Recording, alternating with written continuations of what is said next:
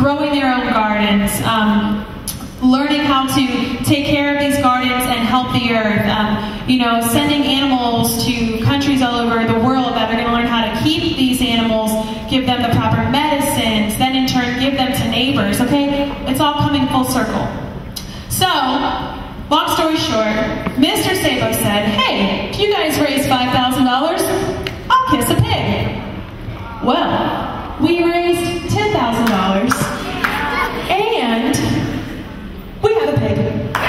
We have a pig. So, and she, Miss Karen Overton from Wedge Oak Farms, was nice enough. She's going to bring in a pig here, Mr. Sabo. I'm sorry, I just got a phone call and she canceled. She's, she's not coming today. No, she, she's not really going to come. Because remember we had a false alarm? Somebody was going to bring another pig, so I don't think I'm going to have to kiss a pig today. I don't think so. No.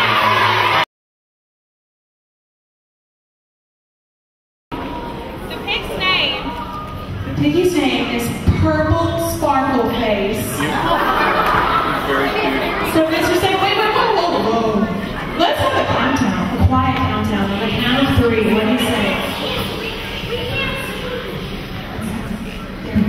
One, two. Whoa, time out.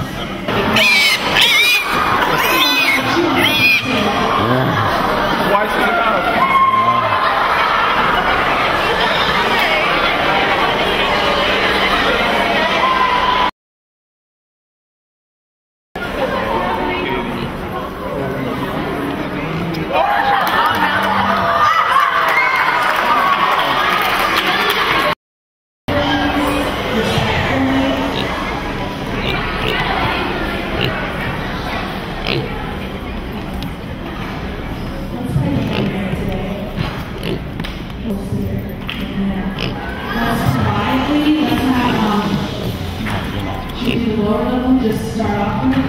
Have the lower school. Are you still working on the projector? You keep?